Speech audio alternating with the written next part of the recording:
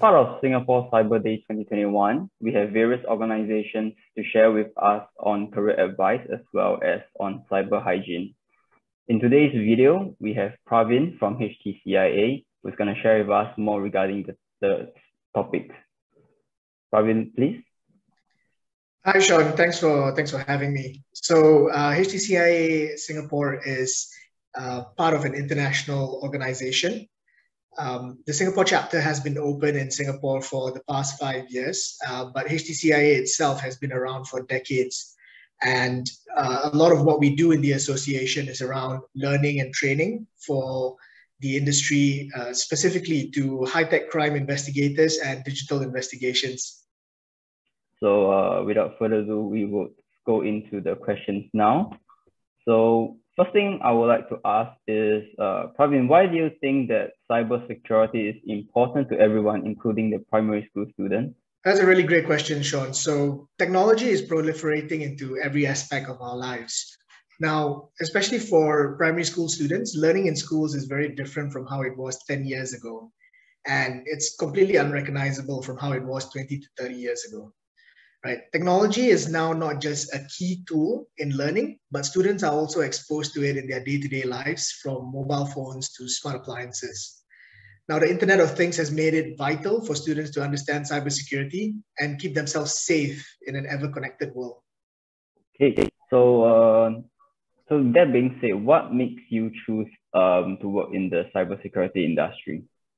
Well, personally, I did not choose a cyber, uh, cyber as a career. I was actually drawn to digital investigations very early on. And as a result of my choice to be in digital forensics, I realized that learning and understanding cybersecurity was a crucial part of my work. Uh, knowing the fundamentals of cyber helps me be a better investigator. Uh, how long do you think you will stay in this career? Uh, I hope to be able to stay in the career for a long time. I've spent more than a decade developing my skills in cyber, and I hope to be able to give back to the community as I become more experienced in the years to come. Right. So, um, in order to be in this uh, cyber industry, what skills do you think people need to have? There are numerous skills that apply. Uh, to me, the most important is the passion for continuous learning. Technology in this day and age really changes at a breakneck speed, right? And you know, every new technology that is introduced presents an opportunity for both legitimate use and malicious actors uh, who are often the first to adopt technology for nefarious purposes. So it really has to be a, a continuous learning um, pathway for, for everyone. Okay. So, uh, what are the top three things that you enjoy in this industry? Well, I would have to say I, it's about being at the forefront of technology understanding how system works, uh, you know, how systems work uh, and interact with each other. Um, and for me, as a digital investigator, it's really understanding the motivation that people have uh, in committing cyber crimes. So, what is the most depressing thing that has happened to you in your cyber career, and uh, how do you manage to overcome that? I, I would say one case comes to mind, uh, and this was both depressing and enlightening at the same time. Now, there was a matter that I worked on many years ago for a client in Singapore, and the client had a cybersecurity incident for which we were called in. So we, we successfully identified the root cause, we plugged the gaps, and we provided recommendations to the client to improve their cybersecurity posture. And less than a month later, we were called in again. Right? And basically, what had happened was they had failed to implement the measures we had recommended uh, and they were very quick to blame us for the repeat attack. Now, as we were performing the second round of remediations, we realized that the company really had a culture of blame and pushing the buck, right? The company expected to never be attacked, and they really did not take any responsibility for training the staff to look out for simple things like, you know, phishing emails, malicious links, as they expected that the technology they had invested in, like their firewalls and SIEMs, would do all the work and just be 100% accurate all the time. Uh, and I think to me, this is the biggest misunderstanding in the field of cyber. Right? It's not just about systems and technology, it is about people and how people interface with the technology. Cybersecurity is not just a subject, it's a mindset. And companies need to understand that being cyber secure starts from the individual. Pretty sure COVID 19 affected you in your work some way or another. So, how do you manage between family, work, uh, personal life and your volunteer work as the Singapore chapter president at HTCIA? Uh, again, another great question, Sean. Uh, it has really been challenging, but it's also presented opportunities to better manage my time. So, you know, before the pandemic, activities like work, family time, and you know, the volunteer work I did with HTCIA were very easy to separate, right? Because they were very much location based, right? So you would be in office for work, you'd be at home for family time, and at an event uh, or, or an event venue for volunteer work. So the pandemic, the pandemic has really shifted this to where basically everything is run out of home, and it has really pushed me to improve my productivity. You know, while ensuring that I still clearly demarcate the time I spend on each activity. Sounds like a positive experience. So, let's say 10 years ago, did you ever see yourself being the HTCIA Singapore chapter president? Uh, definitely not. You know, ten years ago, there wasn't even a Singapore chapter to begin with. So, you know, we have really we're really proud to have come this far and be able to set up a Singapore chapter, which has been active for the past five years. So, how did the role of the HTCIA Singapore chapter president help you in your career? I would say that it has helped me broaden my perspective and understanding of the industry a lot better through HTCIA, I've been able to connect with other great associations like AISP and meet really talented individuals in the field. Um, you know, and everyone presents different perspectives and really contribute to a vibrant and thriving cybersecurity ecosystem. So uh, we, we, we talk about the 10 years ago. So where do you see yourself in the next 10 years? hopefully I still see myself in Singapore. I, you know, the direction and the vision that the Singapore government has is really unique and it's very forward looking. Uh, I think in many ways, Singapore is already a leader in cybersecurity and is well on its way to cement its position as a cybersecurity hub in the region, right? The strategic approach only means that Singapore will be an exciting place to be for budding cybersecurity professionals and for existing cybersecurity professionals to hone their skills. Yeah, that, that being said, uh, we can we can be pretty sure that more people will be uh, looking to venture into this industry. So what do you think students can do in planning their future pathway? My advice to students would be just spend a day thinking about where you would like to see yourself in the next five to 10 years. Um, the good thing about cyber is that the opportunities are abundant, right? And the foundational skills that you learn in school are transferable for a lot of cyber related roles.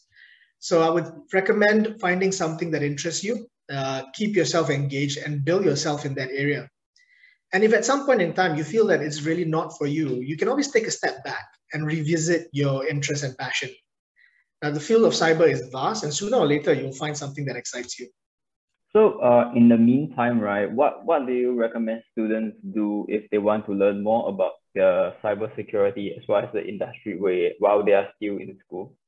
Just keep reading, just read, read, read, read, read, read more and more right? I mean, with the internet, there are just numerous articles, there are numerous posts, there's a tremendous number of news sites, there's an amazing number of learning portals that's available that you can rely on to learn more about cyber. And you know, it's like I said before, it's continuous learning. The learning never stops. Yep, that's true. The learning never stops. So, what do you think is the biggest difference between learning about cybersecurity in school and uh, applying what they have learned back in the workplace? I think that goes back to the point I made about the rapid rate of change in technology.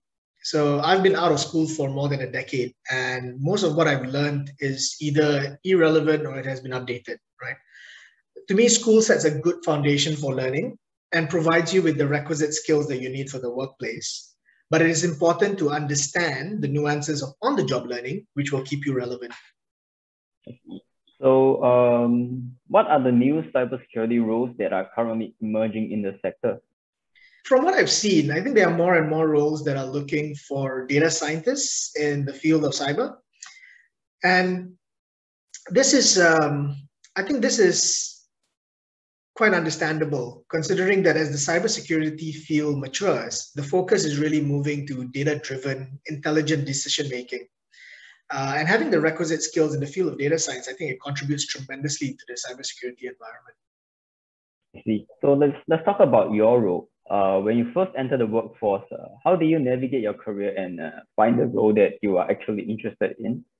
What a lot of people don't know about me is that I actually started my career in a financial institution, uh, and I was doing operations in a bank.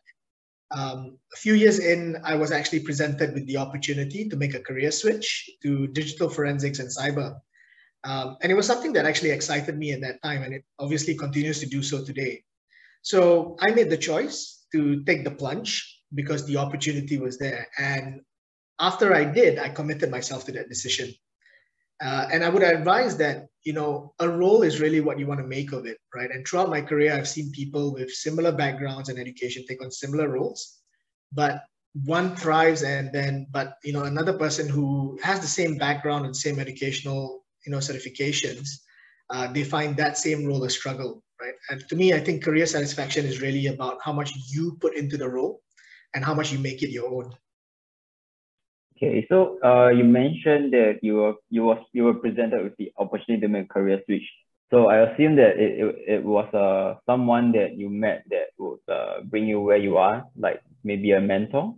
Yeah, absolutely. And I'm a very very strong believer in, that a good mentor will really help you thrive. And I had the excellent fortune of being taught and mentored by a boss uh, who was very patient. He was very knowledgeable uh, and most importantly, he was very keen to share his knowledge, right?